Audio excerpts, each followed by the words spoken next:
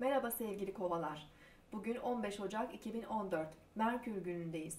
Bugün yakın çevrenizde veya günlük hayatınızı paylaştığınız kişilerle ilgili bazı gelişmeler yaşayabilirsiniz. Ee, sizden bazı beklentiler gündeme gelebilir. Onları memnun etmeye çalışın. Bunun yanı sıra e, bazı evcil hayvanlarınızla da ilgili ani bir durum yaşayabilirsiniz. Burcunuzu dinlediniz. Bugün 15 Ocak 2014. Merkür günündeyiz. Yengeç burcunda ilerleyen ay güvenliğimiz ve duygusal hassasiyetlerimize dikkat çekiyor. Bugün sabah saatlerinde ay Plüton karşıt açısı özellikle üzerimizde duygusal baskı ve gerginlik yaratabilir. Bugün duygusal dengemizi korumakta biraz zorlanabiliriz. Öğleden sonra ay Venüs'le karşıt açı yapacak, Mars'la da kare açı içerisinde olacak.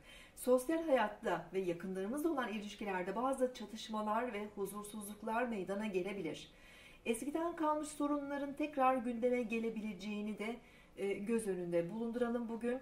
E, bunun yanı sıra kronik sağlık sorunları nüksedebilir. Özellikle e, mide, diş, bel ve böbreklerle ilgili rahatsızlıklarda bugün artış olabilir. Aile üyeleri, bayanlar ve annemizle olan ilişkilerimizde de daha temkinli ve dikkatli olmalıyız.